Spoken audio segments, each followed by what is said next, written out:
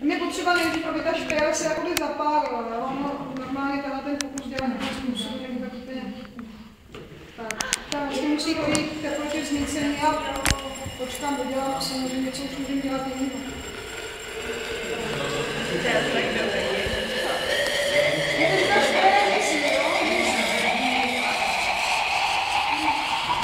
Je Taky si pamatujte, že nejteplejší hvězda je hvězda, která je bílá. To znamená, že jste viděli, že to bylo skoro, skoro bílý, to znamená, Ono to hoří. Ještě to trošku hoří. Už. Ten čekal?